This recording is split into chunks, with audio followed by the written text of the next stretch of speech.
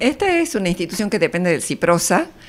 Eh, está abierta al público en general, es de atención absolutamente gratuita y está dirigida a los pacientes que tienen baja visión. con, nuestra empresa, con Culmen, como actividad de fin de año solidaria, eh, hemos realizado un trekking, ¿sí? un trekking, una jornada eh, al aire libre en la montaña.